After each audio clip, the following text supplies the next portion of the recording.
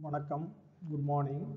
In this video we are going to discuss about the dystrophin glycoprotein complex.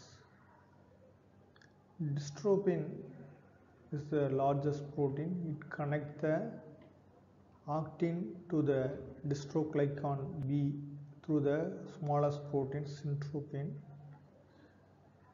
The dystroglycan B is connected to extracellular matrix through the merosin subunit of the laminin.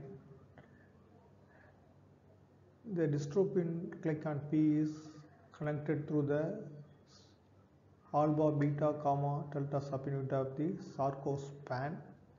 Dystrophin glycoprotein complex provide the strength of the muscle by supporting the myofibril and connecting to the extracellular matrix.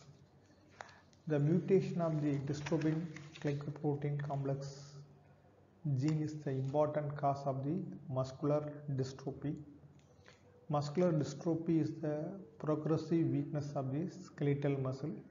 So mutation of the dystrophin gene produces a severe disorder like Duchenne muscular dystrophy and mildest, mildest form of Becker muscular dystrophy. Thank you for watching this video. If you like this video, share your friends. Those who are not subscribed this channel, please subscribe. Thank you once again.